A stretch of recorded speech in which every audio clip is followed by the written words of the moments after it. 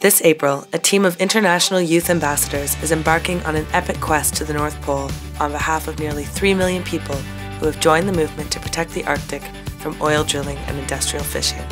When they get there, they'll plant a glass pod and a flag for the future designed by the youth of the world, a flag that stands for peace, hope, and global community that says the Arctic belongs to all of us. I've been running the competition now since what November and the World Association of Girl Guides and Girl Scouts have been helping me to do that um, and through their help and through the networking we've been doing we've got entrants from 54 different countries mm -hmm. so what we really wanted to do is a properly global competition. I love this one for all the colors mm -hmm. and just the design.